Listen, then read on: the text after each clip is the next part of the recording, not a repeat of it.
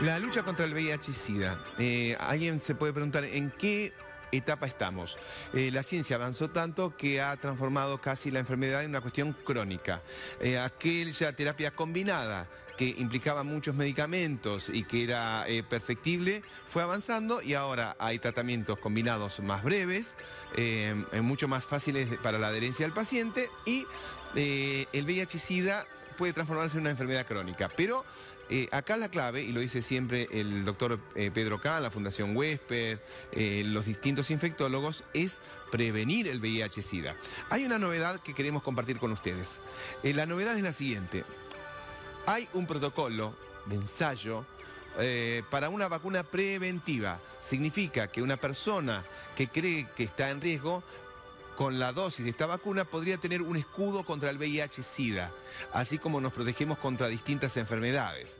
Bueno, em, se va a practicar este protocolo que se llama Mosaico en 3.800 pacientes.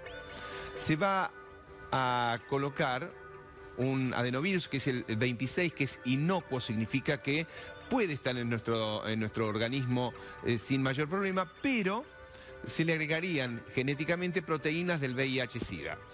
Con esa carga, una vez en nuestro cuerpo, eh, nuestro sistema inmune lo podría identificar, decir, ¿y qué es esto? Y, generar anticuerpos.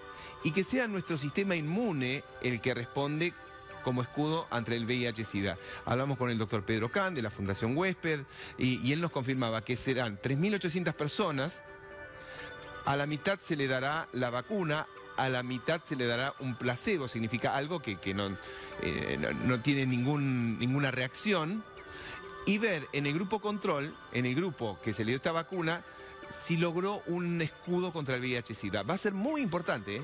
muy, muy importante. Eh, Estados Unidos, Brasil, Argentina, Polonia, entre varios países. Y es mosaico porque estamos hablando de poblaciones muy distintas étnicamente entre sí, pacientes de 18 a 60 años y que estén de alguna manera expuestos al VIH-Sida.